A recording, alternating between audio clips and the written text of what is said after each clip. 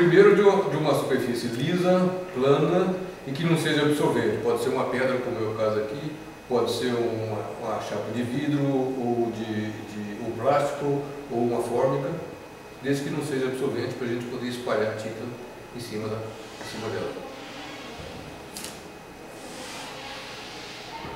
A tinta gráfica talvez seja a tinta, a tinta ideal pelo tempo de secagem, mas a tinta óleo resolve bem o problema, principalmente para esse caso, para essa, essa forma de imprimir, que é a forma aditiva, né?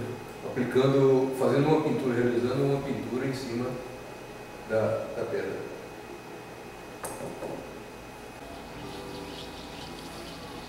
Bom, começa, a gente começa aplicando a tinta, pintando diretamente em cima da, da pedra. Com as, com as cores que, que a gente quiser. Entendeu?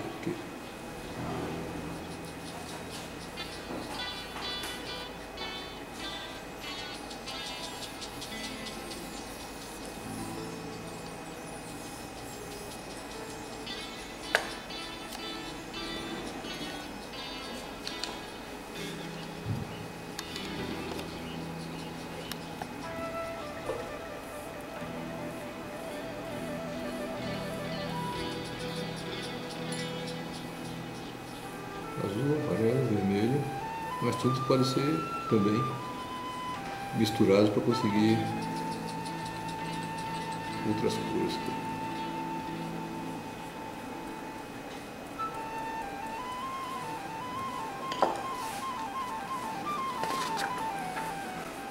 Feito a, terminado o desenho, aí vem o processo de impressão propriamente dito. A gente coloca o papel em cima da, da imagem pintada e esfrega com a mão. Faz um processo de flotagem. Esfrega o papel para o papel absorver a tinta, recolher a tinta que está que tava, que foi depositada, que foi pintada, a imagem que foi pintada na, na pedra.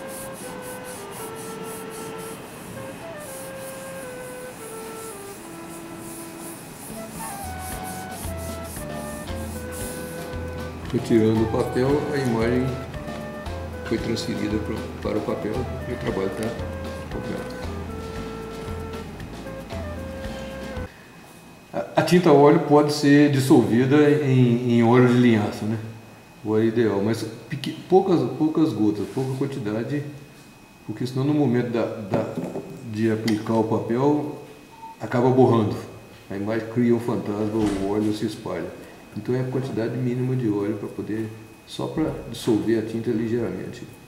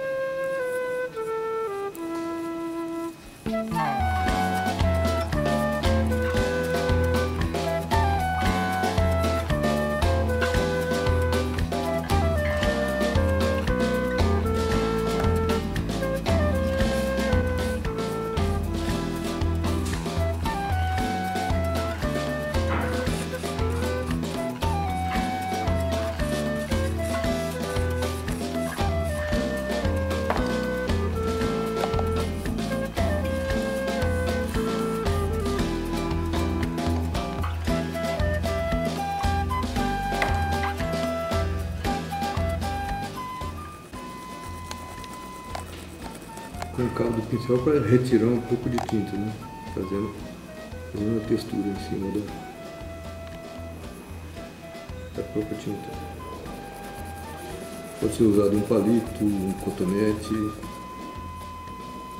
um algodão, uma estufa.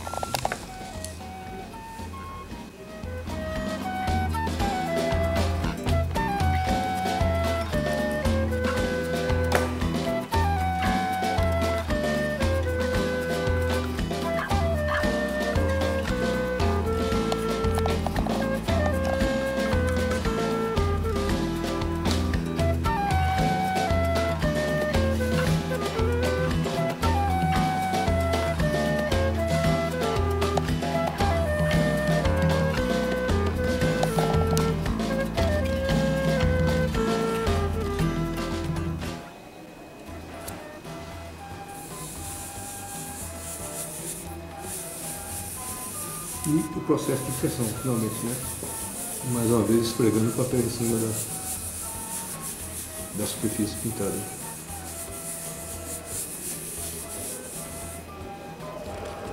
E o resultado final impresso.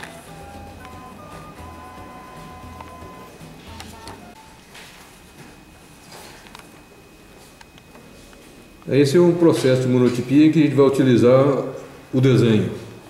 Vamos fazer um desenho sobre, sobre, sobre, essa, sobre essa superfície.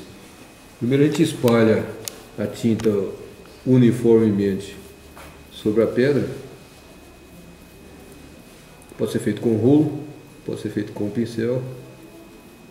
No caso da tinta gráfica, a gente utiliza um, um rolo de borracha.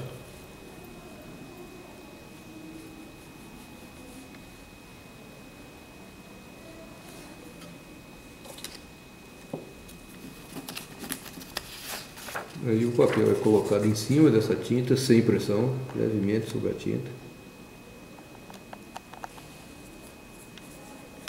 Em seguida se faz o desenho, se realiza um desenho com um lápis ou com a, com a caneta esferográfica, qualquer coisa que tenha para fazer uma certa pressão, até o próprio cabo do pincel, que vai dar o resultado de uma linha mais grossa.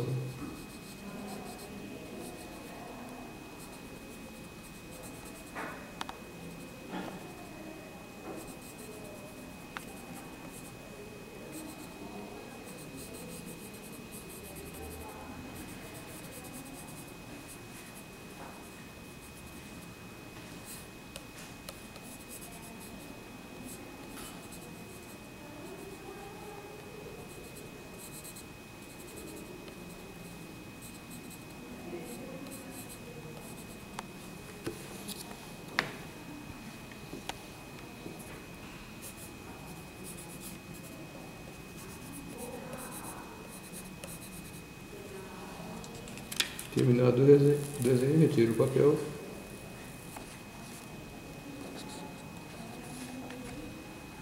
E a imagem está transferida para o papel.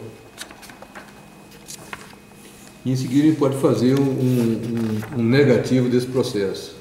Terminado esse desenho, coloca outro papel por cima e aí esfrega toda a superfície do papel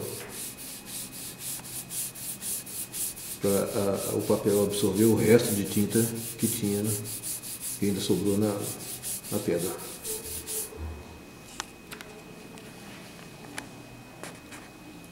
A linha anterior do desenho fica, fica branca, porque a tinta já tinha sido retirada no desenho anterior.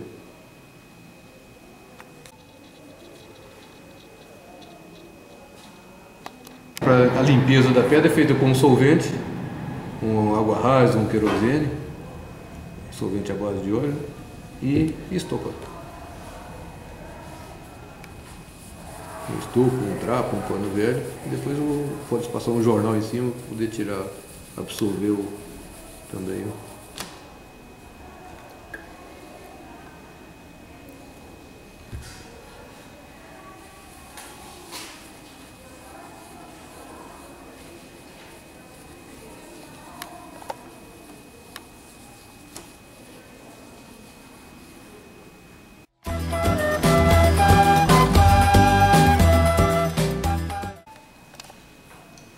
Esse é o material básico que nós temos pra, que a gente precisa para gravura, para monotipia, que a gente acabou, acabou de, de, trabalhar. Essa é uma tinta gráfica, tinta comercial, tinta de, de utilizada em gráfica para tipografia ou para offset, tinta usada em impressão de livro, revista, é, jornais. E ela tem uma consistência pastosa, é a mais apropriada para fazer esse processo que a gente acabou de fazer. E, e, e ela tem uma, uma, uma, certa resistência, boa para poder espalhar, facilidade para espalhar com rolo e não, não, não, borra com facilidade. Ela não é muito oleosa, não é muito líquida. Mas em, em, em substituição a ela, na falta dessa tinta, a gente pode usar tinta, tinta óleo, tinta óleo para pintura de tela, pode se diluir ligeiramente com, com óleo de linhaça, com cuidado para não, não, não, não, ter, não ter excesso também tem uma consistência, uma consistência boa. E pode-se utilizar outras como a tinta gouache ou a, o pó xadrez, aliás, tinta xadrez líquida. O problema dessa está um pouco na consistência e na secagem. É, a gente pode utilizar com o guache, como ele é um pouco seco, pode diluir ele com glicerina, com as gotas de glicerina, para poder dar uma consistência mais, mais adequada para poder ser espalhado com rolo ou mesmo com pincel. E um pouco de glicerina. Né? Pode se misturar, inclusive, essas duas, o, xadrez, a tinta xadrez, com, com, a, com a com a tinta, com a tinta, com a tinta. E essa é a glicerina que pode ser misturada com, com, com, esse, com esses materiais. No mais, o rolo, sempre a gente usa espátula, espátula de metal ou de, ou de, de, de plástico para poder espalhar a tinta. E o rolo, o rolo para poder proceder ao processo de, de, de, espalhar, de espalhar essa tinta com, com, facilidade em cima da pedra, ou da forma, ou, ou do vidro. Esse é um rolo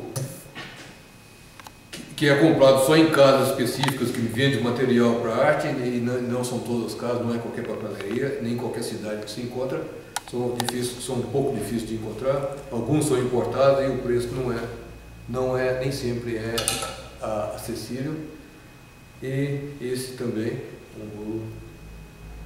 Mas a gente pode fazer algumas improvisações, como a gente tem aqui, esse é um rolo desse rolo comum de pintura, pra, de pintura de parede, rolo de, não de espuma, mas o rolo de pelo, onde foi cortado aqui, foi tirado o excesso de pelo, passou, passamos uma lixa para poder ficar mais ou menos uniforme, e ele serve para poder fazer esse mesmo processo, dá para satisfazer, talvez não com a mesma qualidade, mas dá para conseguir satisfatoriamente para poder trabalhar. Uma outra improvisação feita é essa aqui, que é um, um, um, um cilindro de madeira recoberto com uma câmera, uma câmera de ar de bicicleta ou de motocicleta, ou pode ser usar também uma mangueira, essas mangueiras comum de jardim, que, dê, que tenha uma, que seja possível de encaixar num, num outro cilindro de madeira para ter, ter uma certa firmeza para poder espalhar a tinta. E um cabo de, um cabo de madeira com um, um arame um, um, ferro grosso para poder dar o, o formato para se poder trabalhar. Essas são as formas de que a gente utiliza para poder fazer, fazer um processo de multiplier e mesmo os outros processos de gravura.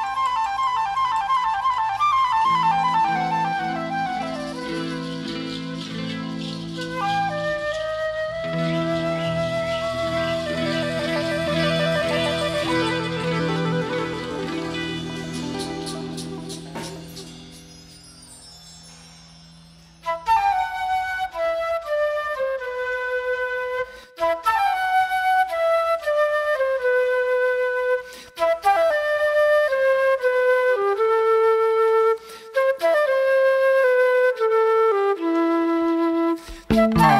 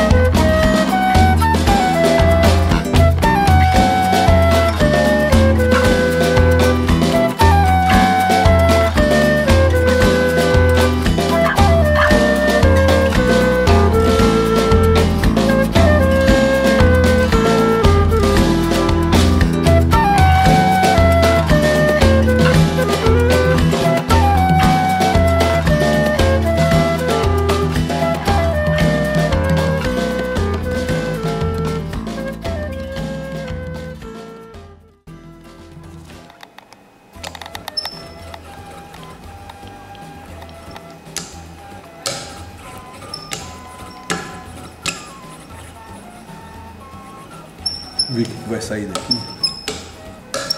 Acho que não vai sair grande coisa não. Né?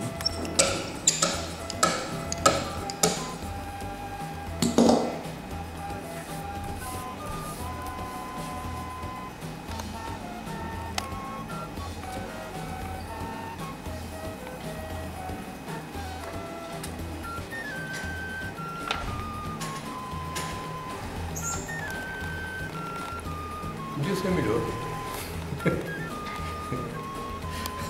Próxima vez vai ficar.